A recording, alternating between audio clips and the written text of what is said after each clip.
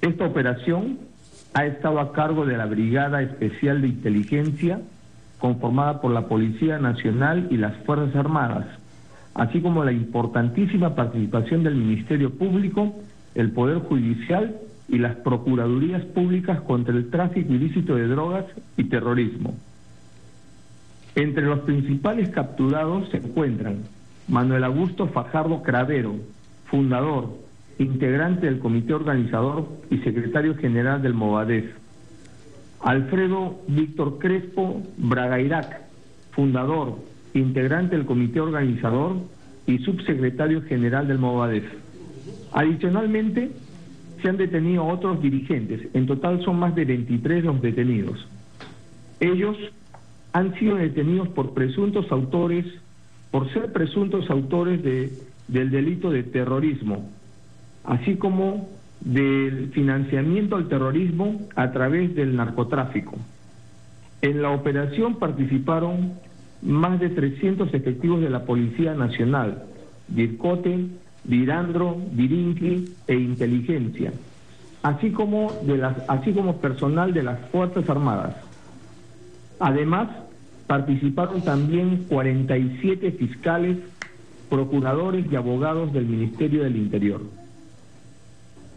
La operación Perseo 2014 es producto de un trabajo de más de dos años en los que la Policía Nacional del Perú realizó una prolija y paciente investigación que permitió reunir indicios y evidencias que establecen la presunta responsabilidad de diversos miembros del Movadef en los, en los delitos antes mencionados, terrorismo, financiamiento al terrorismo a través del tráfico ilícito de drogas.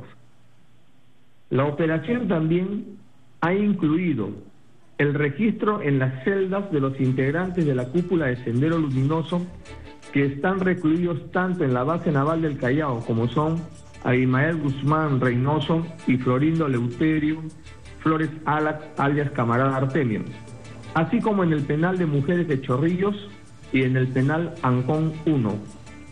El personal de la Brigada de Inteligencia continúa trabajando en estos momentos, por lo que no puedo ofrecer mayores detalles. Mañana habrá una conferencia de prensa donde les daremos mayores alcances. Pero era necesario informarle al país de esta buena noticia para la consecución de la pacificación nacional. Presidente, muchas gracias. Presidente, queríamos hacerle solo una pregunta, por favor, y está relacionada a la detención también de una persona que tiene relación familiar con usted, señor Walter Humala. Eh, ¿La puede confirmar esta situación, eh, presidente? No puedo dar detalles, pero evidentemente en el Perú nadie tiene corona. Si hubiera, eh, si hay, como sabemos también, eh, personas que eh, tengan relación con esta, con este, estos dos delitos, sea el apellido que sea, van a ser capturados. Presidente, estamos en una comunicación simultánea con eh, televisión y la página web internet también de las plataformas informativas de RPP Noticias. En eh, televisión está Renato Cisneros, quiere hacerle una pregunta, presidente. Eh, presidente Mala, buenas noches. Los saludamos aquí en RPP Televisión. Básicamente dos preguntas. La primera, sobre la extensión de esta operación Perseo 2014, si se agota con esta detención de los dirigentes del Movadef o si va a continuar y cuántas serían las personas que faltaría detener. Buenas noches, Renato. Eh, la operación va a continuar. Tenemos, eh, eh, hemos venido haciendo de manera prolija, detallada, una investigación que ha durado casi dos años con los diferentes poderes del Estado. Hay una, hay una lista de personas que han cometido o estarían incursos en estos delitos, pero no descartamos que producto de las investigaciones, interrogatorios que se hagan a las personas ya detenidas, esta lista pueda extenderse en otras regiones del país. La última pregunta, presidente, que ya es de contexto político. ¿Qué opinión le merece la elección del fiscal Carlos Ramos Heredia como, como fiscal de la Nación, en medio de una serie de cuestionamientos, no tanto por su parentejo con la primera dama, como sí por su actuación en las investigaciones en la región Ancash? Somos un gobierno que se ha caracterizado, Renato, en el respeto a la independencia de los poderes del Estado y a las instituciones que tienen, que gozan de autonomía constitucional.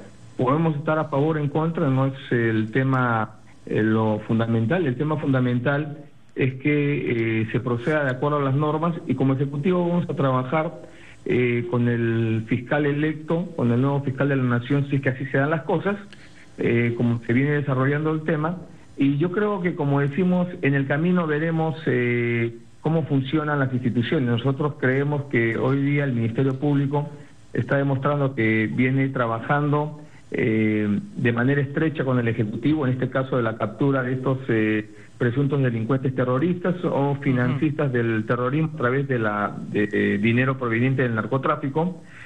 también hemos convocado al Ministerio Público en las acciones que se han venido realizando en la región de Ancash Así que eh, nosotros vamos a seguir trabajando, sea quien sea el fuera quien fuere el, nuevo fiscal de la nación. Lo importante es que el, trabajo eh, no se termine. Presidente, la, última de mi parte, Walter, disculpa. esta operación conjunta que se ha efectuado, estamos en comunicación todavía. Vamos, presidente, le estaba haciendo la pregunta. Tiene que ver con estas acciones que han dado como resultado estas detenciones importantes. ¿Se podría entender que eh, estaba en una situación difícil la democracia? ¿Había una intención de reagrupar estos movimientos y que se podría pensar que estaban ya a punto de volver a las armas? ¿Esto es así, presidente? Eh, creo que el cuidado de la democracia es una tarea permanente de la clase política y de todos los peruanos que creemos en ella.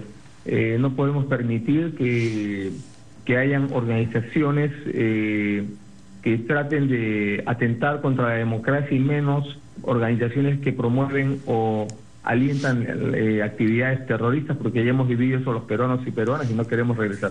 lo que estamos haciendo ahora es una tarea eh, de inteligencia, una tarea que nos permite eh, eh, capturar a gente que estaba en una actividad dañina a la democracia, dañina al Estado de Derecho, y quiero darle la confianza a la población que la democracia no está en peligro siempre y cuando la cuidemos permanentemente. Hoy día lo que hemos hecho es una tarea de prevención frente a a un grupo de malos peruanos que vienen, eh, en este caso, eh, asumiendo una, eh, una actividad ilícita, una, una actividad terrorista, y eso no lo podemos permitir en el Perú. Muy bien, presidente Ollanta Humala, le agradecemos mucho. Muchísimas gracias por esta diferencia con RPP Noticias, una comunicación internacional mientras desarrolla actividades el jefe de Estado en Canadá.